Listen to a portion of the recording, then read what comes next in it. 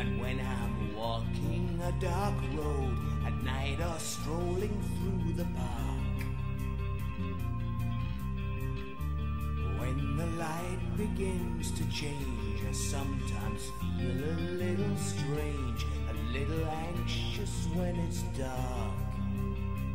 Fear of the dark, fear of the dark. Have a constant fear that something's always near. Fear of the dark, fear of the dark. I have a phobia that someone's always there.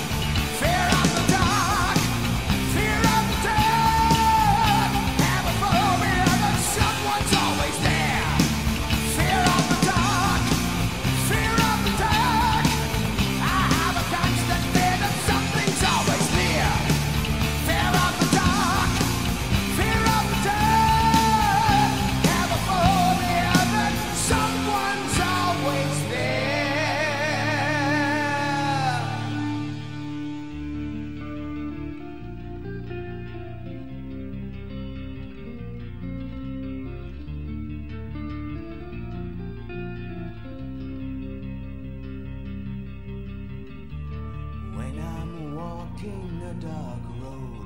I am